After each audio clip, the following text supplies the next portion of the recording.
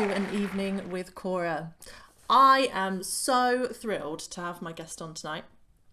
My guest tonight has is an award winner. Oh my god. He won Best Solo Artist at the Brighton Music Awards in 2010. He has supported people like Texas, Jarvis Cocker, Kate Walsh, and more, and has worked with many, many amazing musicians as well. So I'm so excited to introduce you to Paul Diello. Hi, Paul. How's it going? Hello. How you doing? Oh, I'm good. I'm so excited to have you. I'm so excited to be here, and that was such a nice intro.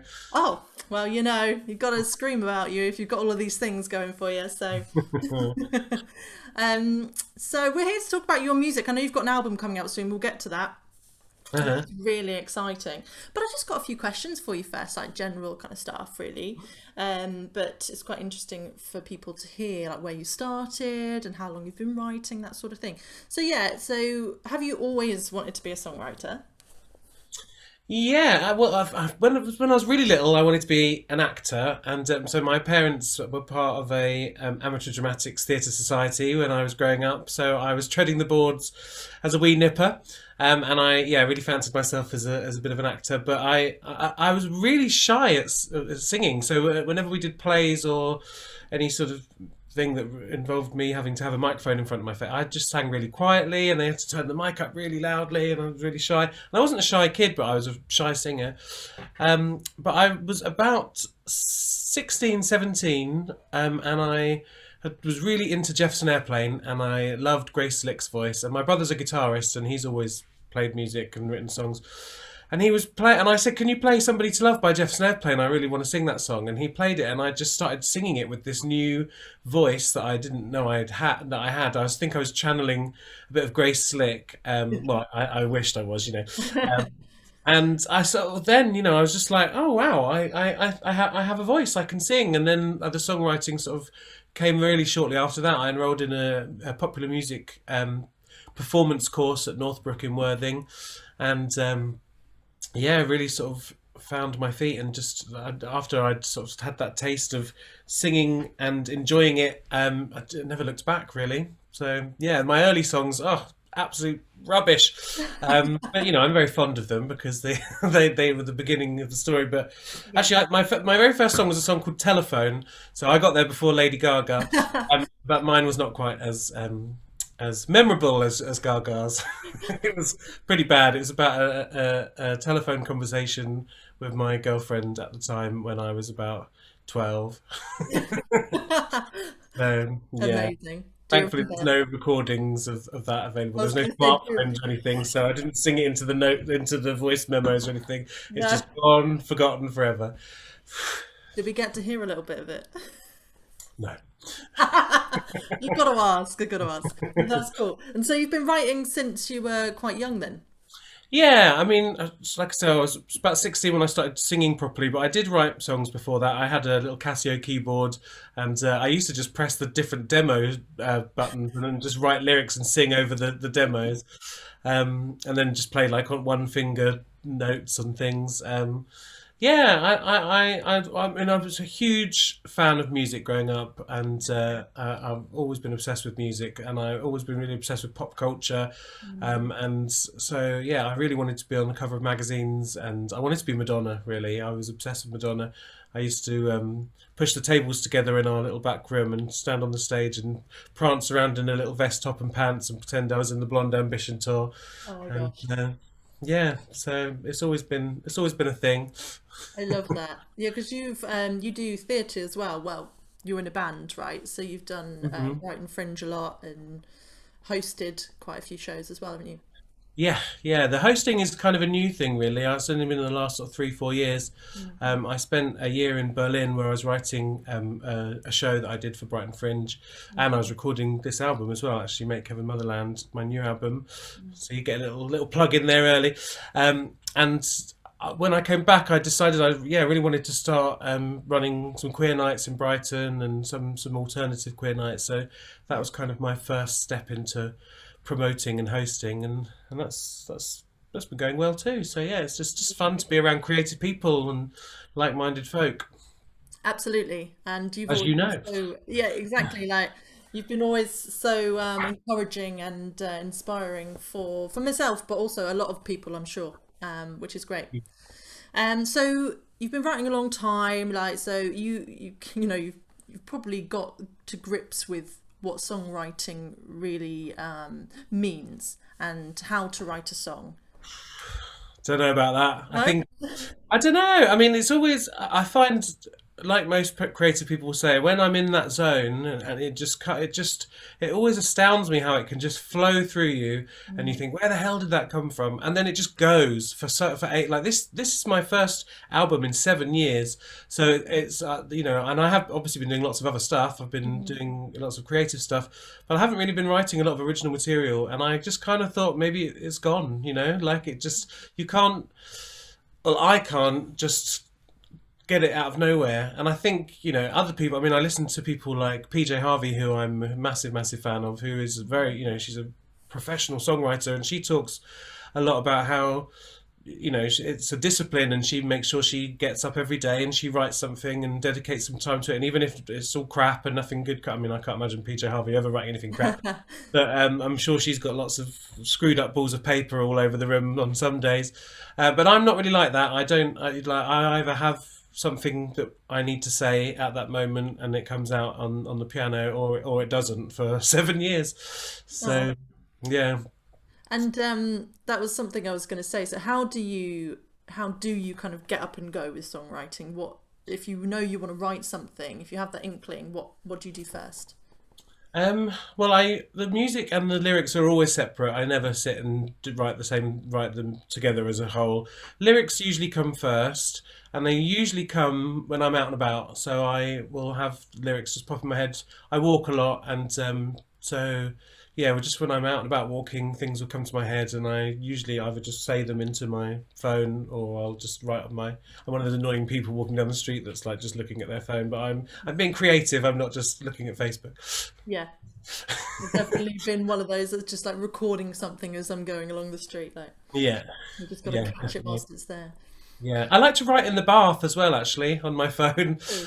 Yeah, quite quite often things come to me when I'll just be lying there in the in the soapy water and like I'm gonna write a song. That's uh, I think it's just times when I'm on my own, and those are the times when, I, when I'm generally on my own when I'm out and about walking, and when I'm in the bath. Yeah, I try that. Yeah. Bath writing, nice. And so uh, let's talk about um, Make Heaven Motherland. So where did the name of the album come from? That interests me.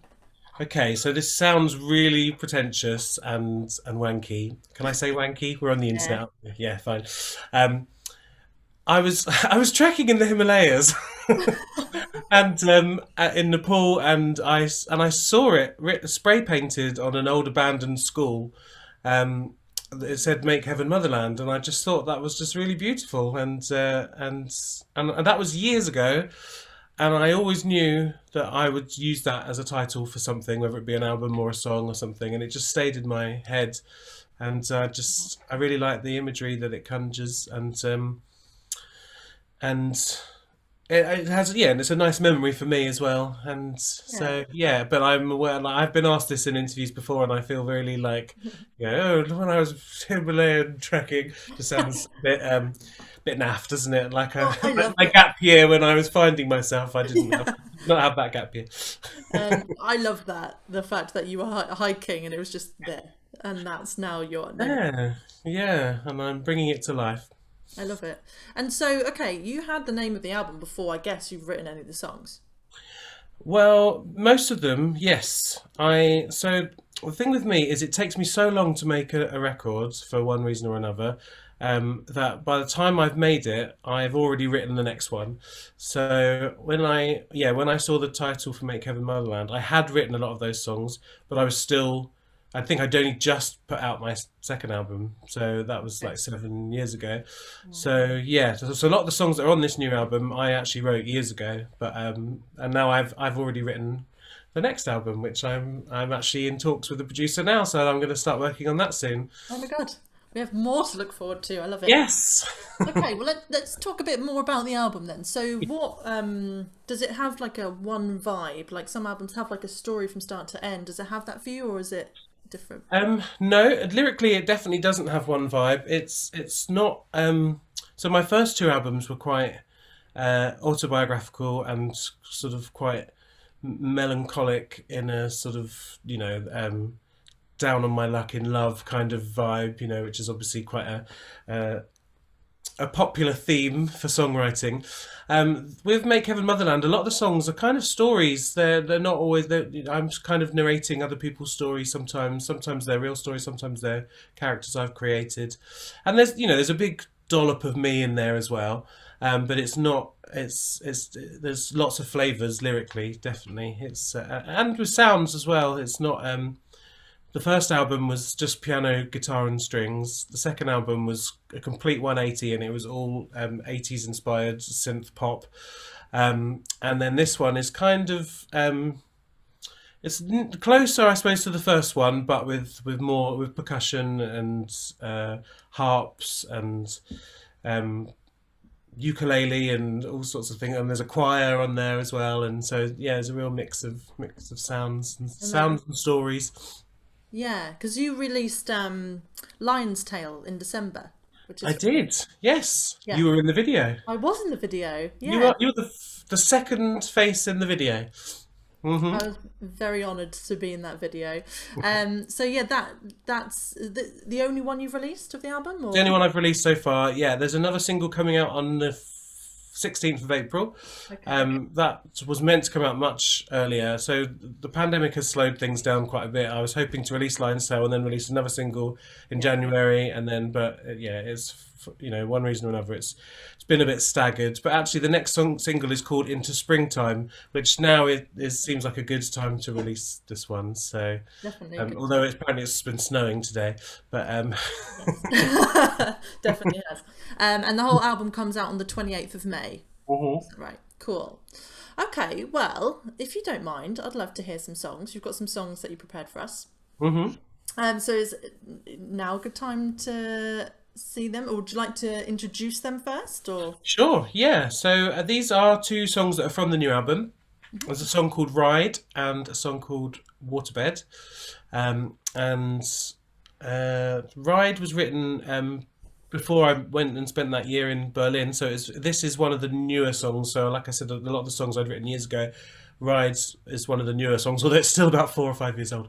Um, and it was kind, it's kind of like a goodbye to Brighton. Um, and uh, Waterbed is um, uh, sort of a story about two um, reunited lovers who um, go upstairs and uh, bump uglies on a waterbed and it bursts and they drown. Oh my gosh, Yeah. I did not expect that. That's great. No, I mean when you hear the song, it's a really emotional sounding song. So the lyric, when I explain it, it always makes it sound so ridiculous. But it's a little bit more metaphorical than that. I, that's the that's the comical way I like to explain it. But uh, it's it's more really to do with um, uh, cleansing, let's say. Okay, yeah. Yeah. Well, I look forward to hearing them. So let's hear from Paul Diello.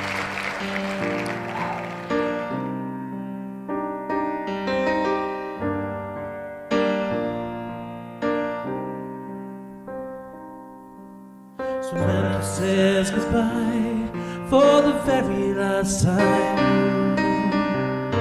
I cycle past her mother's house. Questions they are asking, well, they are not mine. The storybook will write itself. My daddy's in the bedroom and he's packing a bag. He's going to sail the seas of mystery. I ride on past the window for the very last time. Eye as he's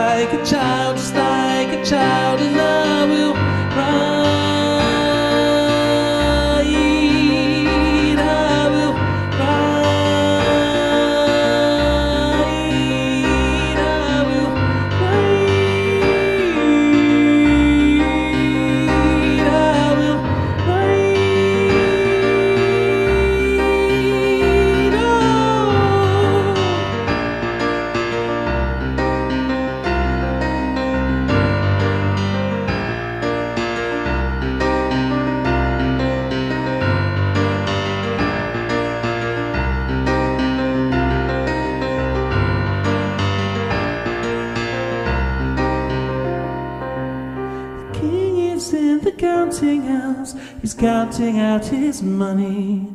We're crying at the table like we never touch funnies. I'm leaving in the morning and I may never return. So I cycle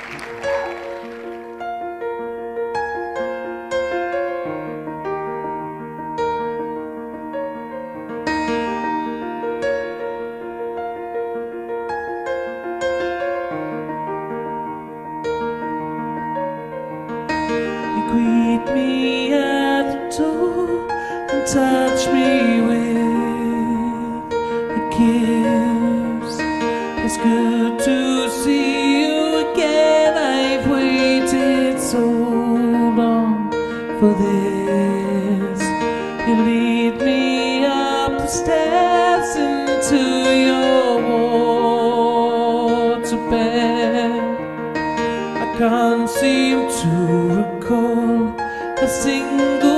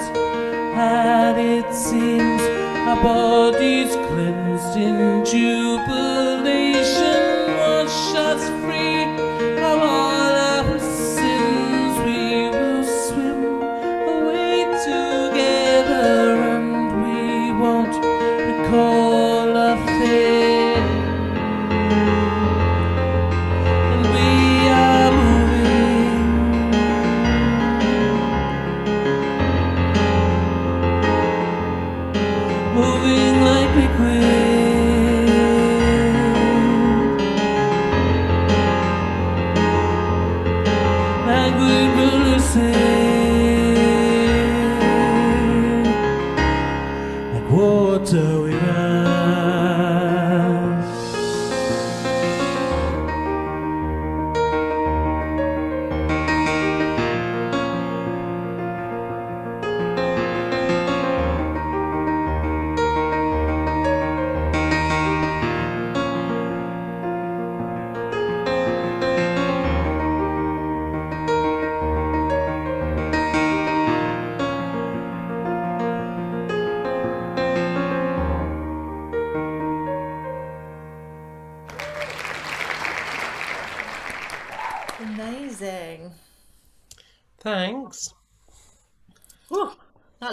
was very beautiful. Oh, thank you. just that, like, water we rise, and then the piano, it's just like, gets you right in the feels. yeah? Yeah, Good. that's Mission nice. accomplished then. Yeah, absolutely. I can't wait to hear the full produced version because I bet. Yeah, it sounds sounds much better, I think. I mean, I, I use um I, I, I- I do play piano obviously and I use it as my songwriting vessel, but I don't really consider myself a pianist and um I I, yeah, I much prefer playing with others with others rather than Yeah. just being me and the piano for the Yeah. songs to have their full potential. I feel like I can sing better when I'm not playing as well. For sure, because you're not concentrating on the note. Yeah, Yeah, yeah. No, I, I understand that completely. yeah. um, you're much better than me, but I like, yeah, I prefer to just sing and let other people play the instrument. Yeah, definitely. But that's yeah, I'm really excited to hear the full versions, as I'm sure everyone else out there is as well. But thank you for sharing those with us. They're beautiful. Thank you so much. I love the little yeah, the little homage to Queen in the first one. Yes, yes, a cheeky nod. Yeah. A little cheeky nod, which is always nice. Um, so on the 28th of May, when it comes out, where can people get it? So it will be available from all the usual streaming sites such as iTunes, uh, Spotify, you know, all that um, jazz. You could also um, order it from my website, um, and if you wanted a physical copy, you can get a CD or a vinyl from my website. Also, if you pre-order before, I'm not sure when this is going out, but if you pre-order um, before the 28th of May, um, or now preferably, then you will get it a month before. So everyone that pre-orders will get it um, at the end of April, um, as well as some like exclusives, and they'll see some of the videos before, because it's not just a, a audio album; it's a visual album. So being in lockdown, the first lockdown gave me a lot of time on my hands, so I created a music video for every song on the album. Um, so there's ten music videos and um, they are going to be all shown together with some interviews and um, little funny links and things as an online album launch, which will also be on the 28th of May. Um, yeah, And so, where can we get the news for that? Will that be on your Facebook? Will that be on your website too? it'll be on my website, and if you follow me on Facebook, facebook.com forward slash Paul Diello Music, then um, yeah, all the details will be there. Um, I have a page uh, on a site called The Floor, which is kind of like Patreon, um, but it's um, more kind of uh, artist led, and it's uh, so people can subscribe to my floor page, and there's three different tiers of monthly um, amounts that you can pay, and you get different. Um, treats for all the different tiers which has been a lot of fun as well for me putting together the packages and things to, to send out to people Yeah. um, but that they have a thing called Floor TV, so it's basically like a streaming site, and um, so I release these sort of videos and things through there first, so people can all watch it together in a bit of a ceremonial um, state, and then then it will end up on YouTube, of course, at some point down the line. Yeah. Amazing. That sounds great. I'll have to check out their website. Yeah, yeah, it's really great. Yeah, and I'll pop all Paul's links as usual down below in the description, so you can just go and click and uh, go follow Paul, show him some loads of love, and buy his album on the 28th. Actually, pre-order. Do it now. Do it now. Pre-order, yeah. I've also got some T-shirts and you know all that jazz, and I'm just so excited to have something coming out on vinyl because this is my first ever vinyl release, and it's always been a dream. So I've always been a vinyl lover, and for for the most part, vinyl hasn't really been much of a thing in my uh, when I've been releasing music. You know, now it's all the rage again, isn't it? So it's Yeah. it's really exciting to. And I had the test pressings sent to me the other day, so yeah, I was just staring at it, looking at all the grooves, going, "That's my music in the grooves." I know. I would be so excited as well. I saw your post and I was like, final. yeah. So exciting. I mean, that's exciting. like the dream, isn't it? To have your own song on vinyl. hmm Quite literally. Yeah. Not everyone's dream, but for sure. Our dream. Yeah. Amazing. And we're nearly done today, unfortunately. It goes so quickly, but it's been absolutely lovely to have you on the show. Thank you so much and Oh, for sharing your music with us.